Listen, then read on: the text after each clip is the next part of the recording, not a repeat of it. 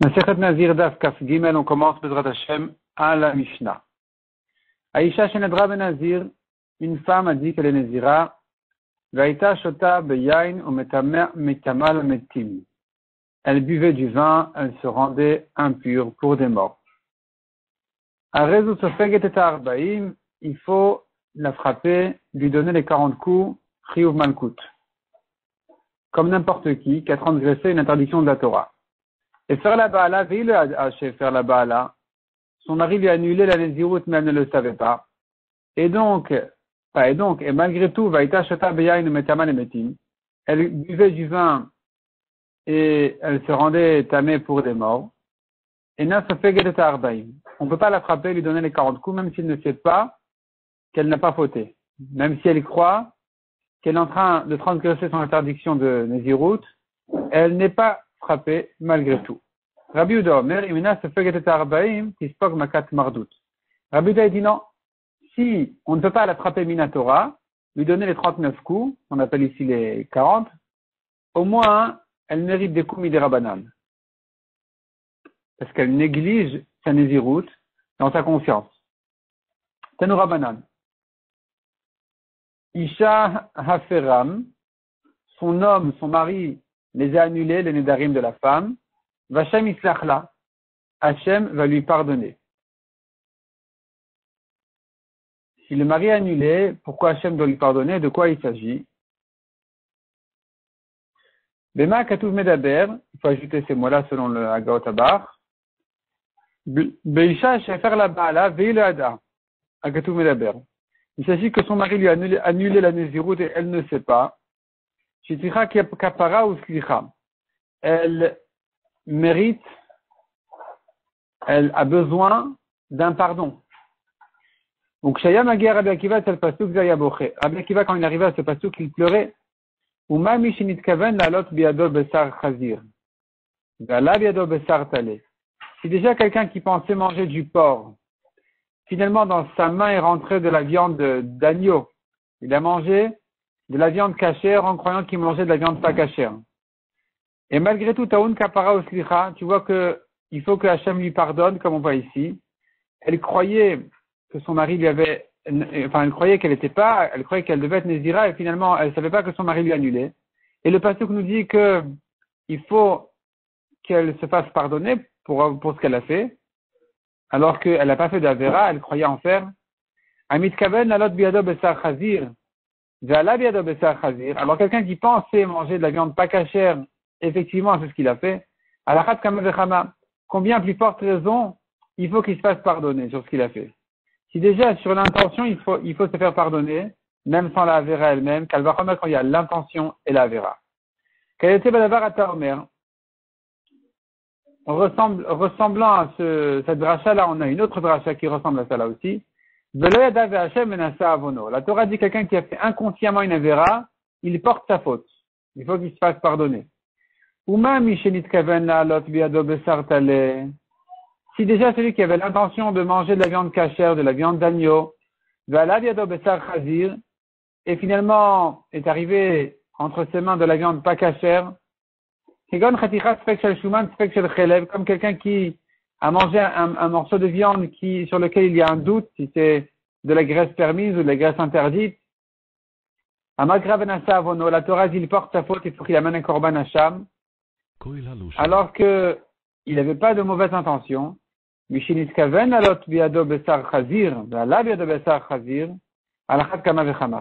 qui avait l'intention de manger de la viande pas cachère et que c'est ce qu'il a fait, combien plus forte raison qu'il doit se faire pardonner? Ici Ben Yuda Omer, ici Ben Yuda il, ramène cette même dracha mais dans une autre version un peu différente. Il lui dit comme ça, la Torah dit, il n'est pas conscient de sa faute, il porte sa faute. Ou C'est déjà quelqu'un qui était inconscient, il pensait manger cachère, de la viande d'agneau, est arrivé entre ses mains de la viande pas cachère. Kegon, dans quel cas la Torah dit qu'il doit amener son korban, dans un cas où il y avait devant lui deux morceaux de viande, un morceau de viande de graisse permise et un morceau de graisse interdite. Donc la viande cachère, la viande pas cachère. Il y avait les deux morceaux devant lui. La Torah a dit porte sa faute. il a mangé, il ne sait pas lequel, il doit amener un korban hacham. Il doit faire pardonner sur ce doute-là. Celui qui avait l'intention de manger pas cachère et que c'est ce qu'il a fait, combien plus forte raison qu'il doit se faire pardonner. Sur ça vont se lamenter, s'attrister tous les, les tristes, tous les, les, les, les, souffrants qui, qui regrettent ce qu'ils font. Et donc, ce passage-là, en fait, le Tofat, il dit ici que les mots al-davar zeidvu advuyim, c'est les rachetevot du pasuk, donc yidvu. Il dit ici yada ve'ashem venasa. Il est conscient de la faute qu'il a fait, une fois qu'il l'a faite, il porte sa faute. Ça, c'est rachetevot yada ve'ashem venasa, c'est yidvu. Yidvu advuyim, sur ça, ils vont se lamenter tous les gens qui, qui, qui pleurent, qui pleurent ce qu'ils font. Et donc, pourquoi? Parce que tu vois ici qu'il faut, il faut se faire pardonner, il faut un pardon même sur quelqu'un qui n'avait pas de mauvaises intentions. Calvachomer, celui qui en avait. Pourquoi ces trois drachotes là qui reviennent autour de la même idée? C'est Richin, on en a besoin. Si on avait eu que la dracha à propos de la femme, de la Nézirut, j'aurais dit Atamu de Ce n'est que là-bas qu'il faut qu'elle se fasse pardonner. Parce qu'elle avait l'intention de faire une avéra. Elle pensait boire du vin en croyant qu'elle elle a une Nézirut, donc elle avait l'intention d'une Avera, elle certainement doit se faire pardonner. Mais dans le cas où un homme a mangé un morceau de viande en croyant que c'était cachère sans problème, alors qu'il y avait sur ça un doute, il avait une intention de manger de la viande cachère, j'aurais dit, il n'a pas besoin de se faire pardonner sur ça. Pour ça, on a besoin du deuxième pasuk pour dire que non, il faut amener un korban. Vei itmar hada. Si on avait eu que ce deuxième pasuk, là j'aurais dit, de ika isura, parce que finalement, il a, il a fait, il a transgressé une interdiction. Finalement, dans son intention, il n'y avait, pas de problème, mais dans ce qu'il a fait dans ses actions, il y avait un problème. Donc ici, il doit se faire pardonner sur ce qu'il a fait. Abalisha de faire là-bas, là. Mais la femme qui a eu la chance que son mari lui a annulé. Ce qu'elle a fait, c'était permis. Elle a bu du vin, c'était permis. J'aurais dit l'otibay qui apparaît Elle n'a pas besoin de se faire pardonner sur ses mauvaises intentions. Donc on a besoin du premier pasteur qui nous dit non, ici aussi, il faut qu'elle se fasse pardonner. Vitmar etarte, si on avait eu que ces deux drachot là, j'aurais dit, Avarmina, etarte ou de sagileon kapara. Ce n'est que dans ces deux cas-là que la kapara leur suffit. Kapara ou slicha. De l'ikva isura. Parce qu'il n'y a pas l'interdiction qui s'est fixé ici. Il n'y avait pas le morceau de viande interdit, interdit, qui était fixé devant lui. Il y avait un morceau, on ne sait pas s'il est cachère ou pas cachère. C'est pas qu'il y avait deux morceaux dont un des deux est certainement pas cachère. Là, c'est plus grave. Quand, il y a ici un morceau de viande qui est connu comme de la viande pas cachère, il faut faire doublement attention. Mais quand il y a deux morceaux de viande, de, deux morceaux devant lui, un, pas cachère et un huit cachère, où ici, la vera s'est fixée devant lui, le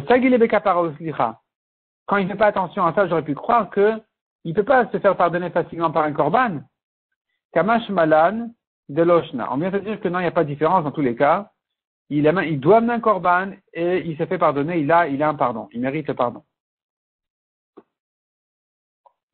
Dans la halakha de Kippour, les poskim ramènent que quelqu'un qui, qui, a un doute sur une avéra qu'il a fait, il doit faire une plus grande chouva encore que celui qui est certain d'avoir fauté. On a tendance à dire, bon, espérons que, espérons que ce que j'ai fait, c'était pas une avéra parce que ceci ou parce que cela. Eh bien, justement, les poskim me disent, il faut au contraire une plus grande chouva encore dans ce cas-là. Et il le prouve des halachot du korban Hacham Taloui un homme qui a fauté, il était Mechalel Shabbat, il amène une petite brebis. La petite brebis, elle ne doit pas coûter grand-chose. Alors que celui qui a un doute sur sa Avera, comme ici il y avait un morceau, il ne sait pas si c'est cachère ou pas cachère, il doit amener un bélier qui vaut deux slaïm. Et donc on voit que la Torah a ajouté une khumra spéciale pour celui qui est dans le doute de la Vera. Et la raison, elle est justement parce qu'il a du mal à regretter quand il est dans le doute. Il espère, il suppose, il imagine euh, que tout, que bon, finalement, il n'a pas fauté. Donc au contraire, ici, il faut se renforcer encore plus dans la, dans la tchouva. On continue dans la Gemara, Marabachana, Marabi. Qu'est-ce que veut dire le pasou Qui est Sharin Darche Hashem, Vetadikim El Chubam ou Pashim Ikashlubam. Les chemins d'Hachem sont droits. Les Tadikim, Vetadikim El Chubam, les Tadikim, ils marchent dans ces chemins-là, les chemins d'Hachem qui sont droits, ou Pashim Ikashlubam. Les Rechaim, ils trébuchent dans, les chemins, dans le même chemin où le Tzadik, marche, le rachat, il trébuche là-bas. Donc le Tzadik, il avance, et ça le mène à, ça, ça, le rapproche, ça le rapproche de sa destination, ça le rapproche d'Hachem, et le rachat, il fait la même chose, il est sur le même chemin et il tombe là-bas. Comment est-ce possible? De quoi, il s'agit? Machal, Adam, L'exemple est de deux personnes qui ont grillé leur korban Pessah, leur agneau pascal. L'un l'a mangé pour la mitzvah, l'autre l'a mangé alors qu'il était complètement, complètement rassasié déjà, il n'avait plus envie de manger. Celui qui l'a mangé pour la mitzvah, sur lui on dit, voilà, il a fait quelque chose, ce tzaddik là, il a fait quelque chose qui, qui, qui a fait marcher. Et l'autre qui l'a mangé alors qu'il en était déjà rempli, il n'avait plus besoin de, il voulait plus manger, celui-là n'a pas fait de mitzvah, et donc, le rachat il trébuche sur le même chemin. Les deux ont dans la fourchette le même morceau de viande, et finalement, lui, il fait une mitzvah, l'autre, il fait une avera. Il ne fait pas la mitzvah du tout. Amar Lakish, la Gemara demande, Haï, Racha, Karitle, celui-là, tu l'appelles Racha, C'est vrai que il n'a pas fait la mitzvah euh, de la meilleure qualité.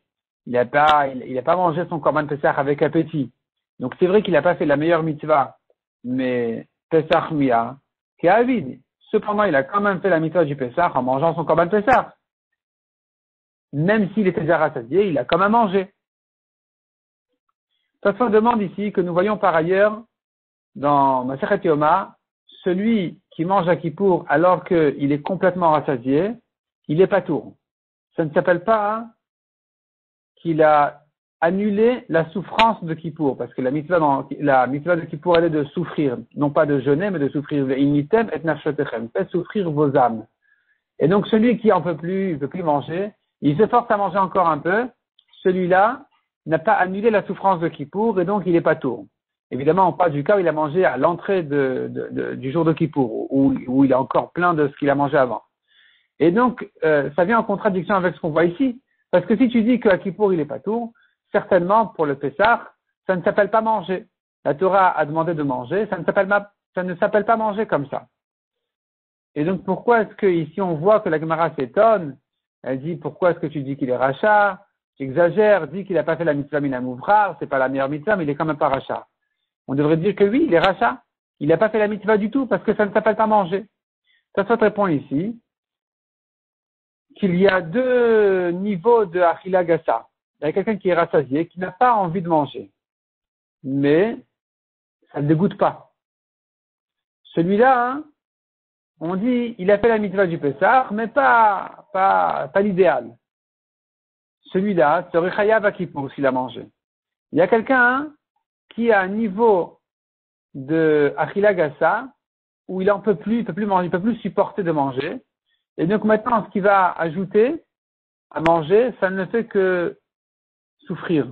Celui-là, c'est sûr qu'il n'aura pas fait la mitzvah du Pessah, et lui aussi, il sera pas tour à Kippo. Revenons à l'Agmara. Donc l'Agmara repousse ce cas-là du Pasouk, c'est pas de ça que le Pasouk parle en disant, le Tzadik a fait la mitzvah, le rachat a trébuché. Ici, non, le rachat qui est rassasié, il a mangé son Pessah. Ça va, il n'a pas trébuché. Il n'a pas fait sa mitzvah comme, il faut, mais pas l'idéal, mais c'est quand même un rachat. Donc il faut trouver un autre cas pour la Gemara et la Machal Adam. Il y a deux personnes. Lui, il a à côté de lui sa femme et sa sœur. L'autre a à côté de lui sa femme et sa sœur. La lo lo. Un d'entre eux s'est présenté devant lui sa femme. Et l'autre, il a fait ses relations avec sa sœur. En croyant que c'était sa femme celui qui est allé avec sa femme, Tzadikim el il a, celui qui a eu la chance de tomber sur sa femme, alors c'est un tzaddik qui, prend le chemin d'Hachem. Celui qui n'a pas eu de chance et qui est tombé sur sa terre, eh bien, sur lui, on dit effectivement, ou Pashim Donc, les deux, ils ont fait apparemment la même, action, et pourtant, un, c'est une mitzvah, c'est un tzaddik, et l'autre, c'est le rachat qui est trébuché. La Gemara demande Midami, est-ce que ce cas-là ressemble au Pasuk? Anan Kamrinan Le Pasuk parle du même chemin qui est pris par deux personnes, le tzaddik qui marche, le rachat il tombe.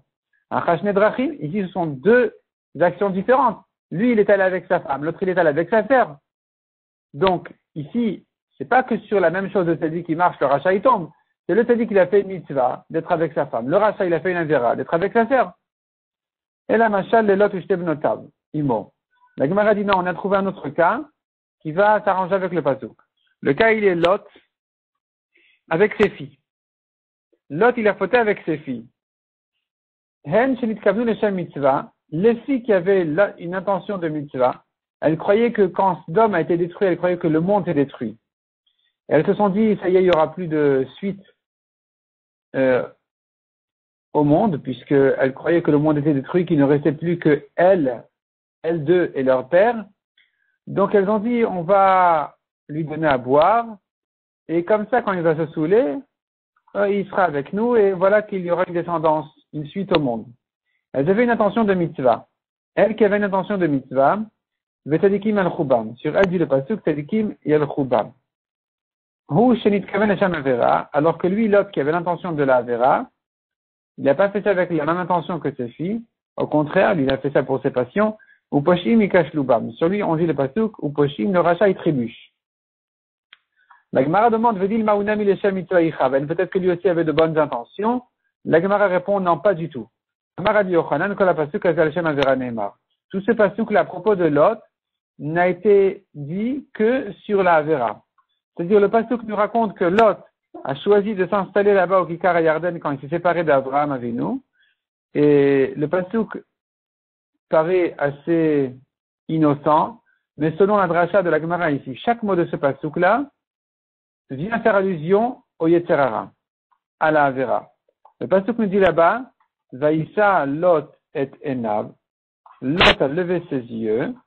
Il a vu toute la, la plaine, les champs du Yarden. Qui roula mashke. Tout est plein de mashke, donc de, d'eau apparemment. Il y avait beaucoup d'eau qui arrosait les plantes et qui faisait bien pousser les, les, les arbres. Et donc, il a choisi de s'installer là-bas ce pasouk-là, apparemment, il n'est pas méchant, il n'y a pas de problème. La Gemara dit non, non, pas du tout, fais attention à chaque mot du pasouk, tu verras que c'était pour la Vera qu'il a choisi cet endroit-là. Vaïssa Lot, quand le pasouk dit Vaïssa Lot et Lot a levé ses yeux, donc Vaïssa Lot, Lot a porté, il a porté pour lever, il a levé ses yeux, donc Vaïssa Lot, Vatissa Eshet Adona Vetenea. Nous trouvons le même, la même expression dans les psukim à propos de la femme de Potiphar qui a levé ses yeux pour prendre Yosef. La fille du Pasuk est Enav, donc il a levé ses yeux. Ses yeux, qui est Shara Be'enai. Shara on voit à propos de Shimshon qui a demandé à ses parents de lui, de le marier avec cette euh, Goya des Pelishtim. Il dit qui est elle est droite à mes yeux. La suite du Pasuk Vayar, il a vu. Vayar Otashchem El Chamor. Ces mots-là de Vayar sont, employés dans la Torah à propos de Shrem Ben Chamor qui a pris Dina. La suite du pasuk est comme Kikar Yarden. Donc il a vu tout le Kikar Yarden. Kikar, c'est allusion à un pasuk d'Avera, comme dit le pasuk, Kibad Isha Zona Ad Kikar Lechem. Un homme paye son dernier pain pour faire une Avera avec une, une mauvaise femme. La suite du pasuk roula mashke, et ça fait allusion à un pasuk, justement à propos de la qui dit Elcha achare me ahavai. C'est la femme qui a l'habitude de faire d'avérote qui dit Je vais suivre mes aimés, notne lachmi ou memai, ce qui donne mon pain et mes os, samri ou fishti, ma laine et mon lin, shamni veshikuyai, mon huile et mes boissons. Donc à nouveau, mashke c'est comme shikuyai, c'est les boissons, c'est allusion justement à la vera. Donc c'est pas pour rien que Lot a choisi cet endroit-là. La Gemara demande, mais Vehaminas Anis, dans la Vera elle-même, à cette occasion-là où il était avec ses filles, il était anous, il était saoul, il savait pas ce qu'il faisait. Il n'aurait pas dû penser ou craindre que c'est ça ce qu'elle voulait de lui. Et donc, pourquoi tu dis qu'il est trébuché, il a fait une Avera, alors qu'il n'y était pas du tout? Répond la Gemara Mishum Rabbi Yossi Bar Rav, Bar Rav Chuni, Lamanakud Alvav, Uvkuma, dans le passage écrit, Velo Yada Beshirva Uvkuma. Lot ne savait pas, n'était pas conscient, ni de, du fait que sa fille soit couchée à côté de lui, ni quand elle s'est relevée. Et il y a un point dans le Sefer Torah au-dessus de la lettre Vav du mot Uvkuma et de son lever. Pourquoi il y a un point sur le mot Uvkuma Pour effacer en fait ce mot-là. Et donc, pourquoi c'est écrit Uvkuma Bechira de la fille aînée L'Omar, pour te dire, chez Bechirva, ça vient, ce point-là vient euh, faire allusion que, au fait qu'il n'était pas conscient effectivement quand il s'est couché, Aval de Kuma Yada. Mais quand il s'est relevé, il a dû comprendre. Et la Gemara demande, mais qu'est-ce qu'il aurait pu faire? Ce qui a été fait, fait déjà, c'est fini, il ne peut rien. Répond la Gemara Naskamina. Maintenant, il aurait dû faire attention justement. Naskamina, il en ressort de là, du fait qu'il a vu que sa fille l'a trompé, elle s'est relevée d'à côté de lui. Il, a dû, il aurait dû comprendre et prendre ses précautions le lendemain, ne pas reboire du vin. S'il a rebu du vin, on appelle ça une avéra. Même si c'est saoulé, qu'il n'aurait pas fait ça consciemment, et puisqu'il a pris un risque, alors on l'accuse. Il est accusé de cette avéra-là. Et donc, euh, c'est pour ça qu'on dit justement, les filles, elles avaient une bonne intention, c'est de Kim el et lui qui avait une intention d'Avera, Poshim Ikashlubam. On raconte sur Rav Moshe Feinstein quand était encore le, le Rav dans sa ville en Russie, il y a un malade qui l'a appelé pour le visiter. Et Rav Moshe il lui demande qu'est-ce que tu as et tout. Il lui dit voilà, il a des, il a des taches bizarres sur la langue.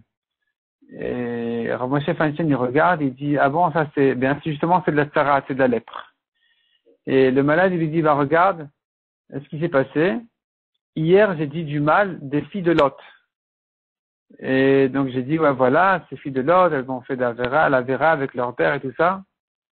Et cette nuit, j'ai rêvé que j'ai vu deux femmes, deux femmes, bien couvertes, bien habillées, bien couvertes, qui viennent et qui me disent, euh, qui me disent, voilà, tu as parlé du mal de nous, tu seras puni de mourir. Il leur dit, mais qu'est-ce que j'ai dit? Elle dit, voilà, tu as dit que les filles de l'autre, elles ont fauté, elles avaient de mauvaises intentions et tout ça, mais c'est faux. On avait une bonne intention. Et elles lui ont dit, quelle était notre intention? Ils lui ont dit, regarde, parce que, en fait, ils parlaient du nom. Le nom qu'elles ont donné, la fille qui a publié le nom de son, elle a dit Moab pour, pour annoncer, pour montrer que c'était de son père qu'elle a eu cet enfant. Et cet homme-là, apparemment, il avait dû dire, mais pourquoi elle avait même pas honte de, d'annoncer et de publier que cet enfant-là vient de son père à tel point qu'elle a nommé Moab, Me'av, du père. Pourquoi elle devait le faire? Donc il a dit du, mal de cette euh, fille de Lot. Il a dit non, j'avais une très bonne intention, c'était justement pour ne pas que les gens disent, ce qui s'est passé d'ailleurs malheureusement euh, beaucoup de générations plus tard, que quand euh, les gens vont voir que j'ai eu un enfant de nulle part, ils vont dire ah c'est un Dieu, elle s'est mariée avec Dieu, elle a eu un enfant. Et donc pour éviter ça, j'ai fait exprès de l'appeler Moab pour bien montrer la vera à tout le monde, que tout le monde sache que non, il a un père. Il a un père physique, un être humain. Et c'était ça mon intention, et donc toi tu seras puni puisque tu as parlé de notre mal. Effectivement, ce qui s'est passé, cet homme-là, il est mort ensuite. Revenons à la Gemara. À la dernière ligne ici du Dafkaf Gimel, à Moudalef. Darash Rava Maïdirtiv. Que veut dire le pasuk? Ach nifsha oz ou armon. La Gemara vient expliquer ce passage qui veut dire Ah, un frère Nifsha Mikiriat Oz a, a fauté et s'est séparé de la Kiryat Oz, c'est une ville fortifiée, ou Midianim et les disputes vrient Harmon. La Gemara va expliquer ce que ça veut dire tout ça. Ah, Nifsha Mikiriat Oz, Zelot. Ça fait allusion à Lot. Lot, qui était appelé dans les psukim le frère d'Abraham, c'est pas vraiment son frère, c'était un proche de famille, mais on l'appelle le frère dans les psukim, qui est Anashim Achim Anachnu, dit Abraham, sur Lot. Nous sommes des frères. Donc, Nifsha Mikriat Oz, ça fait allusion à Lot, le frère d'Abraham, comme on a dit. Et il s'appelle Nifsha Mikriat Oz, il s'est séparé de la ville fortifiée, il s'est séparé de la puissance d'Abraham. Chez Piresh, mais Abraham. Abraham était une puissance, d'où s'est séparé Lot. Et donc, sur lui dit le pasuk, Nifsha Mikriat Oz, ou Midianim, et ces disputes qui s'est disputé à se séparer d'Abraham, qui vriach Armon. Qu'est-ce que ça veut dire? Chez Til Midianim, il a fait cette dispute-là, Kevrichin le Armon, il faut dire, Kevrichin le Armon. Cette dispute-là, euh, cette séparation d'Abraham a causé une, en fait une, dispute avec Israël dans toutes les générations à venir.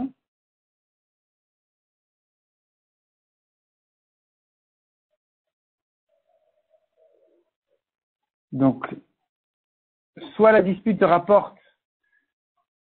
sur la dispute qu'il y avait entre les bergers de Lot avec les bergers d'Abraham, qui l'ont écarté complètement du peuple juif, soit la dispute se rapporte sur les disputes dans les générations à venir entre les descendants de Lot et les fils d'Israël, et les bénis d'Israël, comme dit la, la Gemara ici, que Vrichin le Armon. Armon, c'est un palais.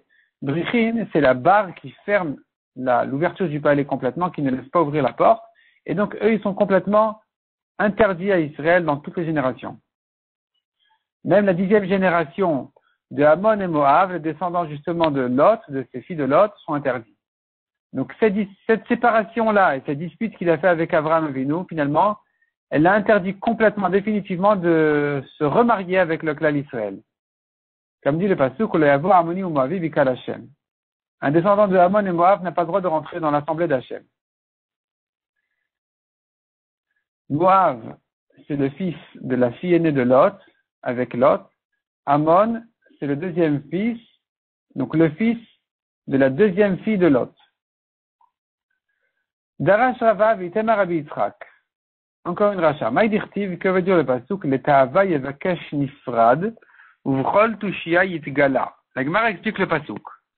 Donc, le ta'ava yevakesh nifrad, à sa passion, demande celui qui se sépare, Zélot. Ça fait allusion à Lot qui, pour ses passions, s'est séparé d'Abraham. Tushia yitgala. Et dans toute la Torah, il sera dévoilé que son, sa vera, son mépris s'est dévoilé dans les Bate Knesiot et dans les Bate Midrashot. Detnan, donc dans les Bate Knesiot, parce qu'on dit dans les Psukim que Amon et Moab sont interdits, et dans les Bate Midrashot, c'est la Torah chez Béalpet, dans la Torah orale aussi, on sait bien, Detnan, Amoni ou Moavi, Asurim, Visuran, Isurolam. Donc Amon et Moab sont interdits définitivement. Ils ne peuvent plus se marier. Ils ne pourront jamais se marier avec le peuple juif. La continue et dit à Maroula. Tamar zinta zimrizina. Tamar a fauté avec Yehuda. Tamar, la belle-fille de Yehuda, elle a fauté avec son beau-père Yehuda. Quand elle a, elle, elle a recherché, elle a demandé dans le carrefour d'aller avec elle. Et Zimri aussi, bien sûr, il a fauté Zimri ben Salou, il a fauté quand Pinchas est venu le tuer. Enfin, avant que Pinchas vienne le tuer. Tamar Zinta. De la Vera de Tamar sont sortis des rois d'Israël et des prophètes, parce qu'elle avait une bonne intention. Zimri Zina, Alors que Zimri ben Salou, qui avait une mauvaise intention, pour sa Vera, sont tombés quelques dizaines de milliers de juifs. Il y a 24 000 morts après cette euh, Avera de Zimri ben Salou. Et grande une avera qui est faite avec une bonne intention, même plus qu'une mitzvah qui est faite avec une mauvaise intention. Donc, une avera qui est faite avec une bonne intention, elle est plus grande qu'une mitzvah qui n'a pas été faite avec une bonne intention. Gdola avera lishma, mais mitzvah sur. La Gemara demande Zamar Ravuda Amarav Lolan Yasok Adam Torah mitzvot. Ravuda, pourtant, Ravuda a dit, un homme doit toujours euh, se donner pour la Torah et les mitzvot shel lishman, même s'il voit qu'il n'a pas de bonnes intentions. Chez lishman lishman, c'est comme ça qu'il va en arriver à faire lishma, à faire avec une bonne intention. Donc pourquoi tu dis que la vera, elle est plus grande qu'une mitzvah qui est faite avec de mauvaises intentions, comme si c'était mauvais de faire une mitzvah comme ça? Répond la Gemara, et là, il faut corriger. Et la ema ke mitzvah shel lishma. Une avera avec de bonnes intentions est équivalente à une mitzvah sans les bonnes intentions. Dirtiv, Tevorach, on apprend du pasteur qui dit, Tevorach minashim sera béni des femmes, Yael Eshet Reverakeni. Yael, la femme de Reverakeni, Minashim Baoel Tevorach. Des femmes de la tente, elle sera bénie. Man Nashim Shebaoel, qui sont les femmes des tentes? Sarah Rivka Rachel À propos de Sarah Rivka Rachel on voit dans les psukim qu'il est dit elle était dans la tente. Quand on dit maintenant que Léa, que Yael, pardon, elle est bénie des femmes des tentes, eh bien, ça voudrait dire qu'elle aussi mérite cette bracha spéciale. Alors que Yael, qu'est-ce qu'elle a fait? Yael, elle a attiré Sisra, l'ennemi d'Israël, qui se sauvait de la guerre contre Israël, lui qui était le général de l'armée, qui était le roi, ou le général, en tout cas, il était là-bas le, grand, le grand, euh, grand homme de guerre, qui voyait sa défaite et qui se sauvait, et Yael voulait le tuer, donc elle a appelé chez elle dans sa tente, elle a caché là-bas, soi-disant, elle lui a servi euh, du fromage, bref, il s'est endormi, et avant de s'endormir, donc elle a attiré vers elle. Et donc finalement, il a, il a fauté avec elle, et cette avéra qu'elle a fait avec de bonnes intentions pour le tuer, c'est ce qu'elle a fait finalement, c'est équivalent aux tzadikot qui ont fait les qui ont fait, euh, c'est équivalent aux, aux grandes. Donc on, compare ici cette avéra là qui a été faite avec une bonne intention à des mitzvot qui ont été faites avec qui, n'ont pas été faites avec de bonnes intentions. Comme dit le pasuk, elle est comparée au imot, elle est comparée à Sarif Léa.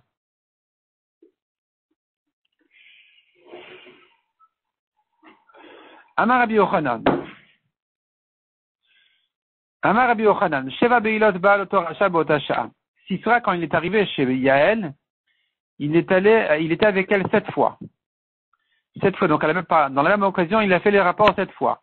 Chez Nema, comme on voit des psukim, ben, ben Ragla, Kara, Nafal, Shechal, Gomer, donc il y a cette expression dans le qui disent il est tombé sur elle, etc., qui viendrait dire que sept fois il a fait la vera. La Gemara demande Elle a quand même un plaisir qu'elle a tiré de ce, de ces rapports. Il y a, il y a un plaisir physique que finalement elle ne peut pas surmonter. Donc pourquoi le pasuk il la loue Répond la Gemara, Marabi Yochanan, Kol Tovatan Shel Reshaim, Enna El El Atadikim. Un rachat qui vient offrir un, plaisir, un cadeau à un tzadik, ce n'est que mauvais pour le tzadik. Le tzadik n'en profite pas du tout. Chez Neymar, comme il est dit, Ishamer Lechem Idaber Imiakov Mitov Vadra. Akadash Baruch s'est dévoilé à la vanne en lui disant, il avertit et fait attention, garde-toi de ne pas parler à Yaakov du bien jusqu'au mal. Quand Yaakov s'est sauvé de chez Lavan et que Lavan l'a poursuivi, avant qu'il le rencontre, Akadosh Baruch il a dit à Lavan, fais attention, ne, ne, lui parle pas. Tu lui dis rien, pas un mot, ni gentil ni méchant. Bishlamara, Shapir, je comprends que être méchant, non. Et la Tov, Amaïlo, mais pourquoi pas gentil? Et la lave Shmamina, tu vois de là, Tovato, Ra'ahi, Shmamina. Que même s'il est bien avec lui, c'est mauvais pour le tzaddik. Donc ici aussi, Yael n'a aucun plaisir à être avec ce rachat là de Sisra, et donc il n'y a pas de, donc le, le pasouk ici avait raison de louer la, la mitzvah de Yael qui a tué l'ennemi Sisra en faisant sous cette euh, même de cette manière-là.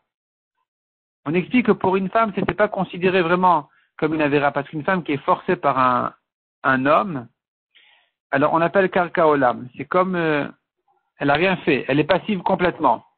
Du moment qu'elle est passive complètement et que elle ne demande pas ça, elle est pas dans, dans, ces conditions-là, bref, dans ces, certaines conditions, c'est pas considéré comme une avéra vraiment interdite selon la halakha.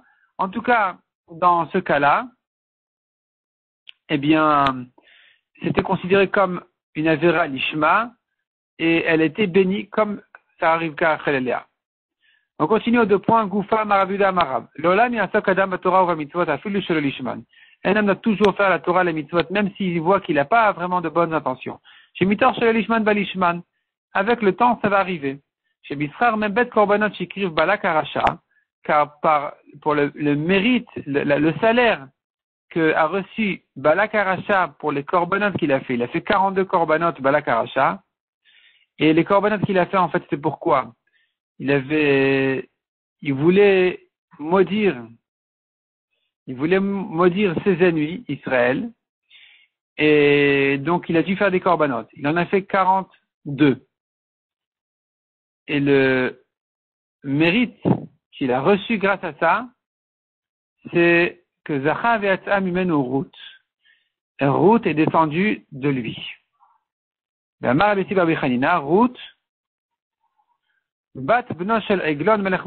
Bien justement, Ruth, elle était la petite fille de Eglon, le roi de Moab. Donc Balak, Melech Moab, il était le grand-père, enfin quelques générations au-dessus de, Ruth, qui était sa, petite fille. On sait bien, Ruth, elle était la grand-mère, l'arrière-grand-mère de David Abeler. Donc voilà la descendance qui est sortie de ce rachat-là pour ces corbanotes qu'il a fait avec une tellement mauvaise intention, comme de maudire, de maudire ses ennemis d'Israël. Et il a quand même hérité. Parce que celui qui fait une mitzvah même avec de mauvaises intentions, c'est quand même, c'est quand même une mitzvah. Il vaut mieux la faire pourvu d'y arriver finalement à faire la mitzvah correctement. On commence même avec de mauvaises intentions.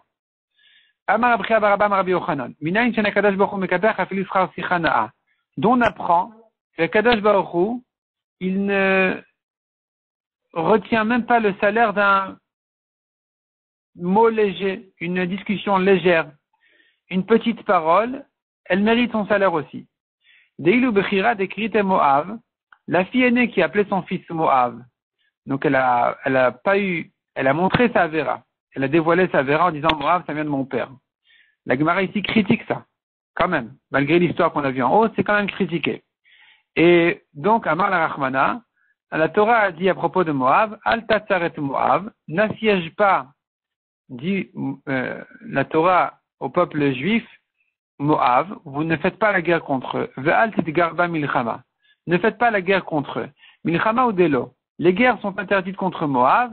Aval, c'est mais on a le droit de les embêter, de leur faire peur, tout ça, tout ça c'est permis par rapport à Moab. Les guerres sont interdites parce que c'est pas un territoire qui a été offert à Israël. Mais les embêter, c'est permis. Veilu alors que la deuxième fille de Lot, des Ben Benami, qui a nommé son fils Benami, elle a dit c'est le fils de mon peuple, elle n'a pas dit c'est du père ça vient de mon père. Ah, donc il y avait quand même un, certain niveau de tsniout chez la deuxième, qu'il n'y avait pas chez la première. À Marley, la Torah a dit Al garbam. Ne les assiège pas et ne les embête pas. Même leur faire peur, les attaquer, même ça c'est, même ça c'est interdit. Donc ça c'est pour le mérite qu'elle a fait, elle a donné un nom avec plus de tsniout. Ben Et on voit ici encore une fois, dans l'autre sens cette fois-ci, combien tout est calculé jusqu'au plus petit détail. Par ailleurs, la fille aînée a plus de mérite que la deuxième fille. Parce que elle était la première.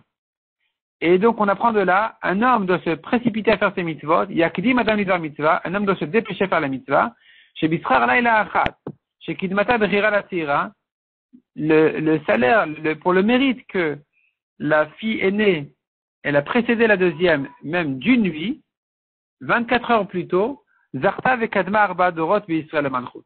Elle a mérité quatre générations plus tôt que la deuxième de rentrer dans la royauté d'Israël. C'est-à-dire comme ça. Comme on a vu, de Moab est descendu, est descendu Ruth.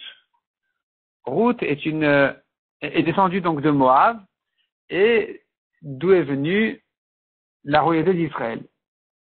Donc euh, David Ameller.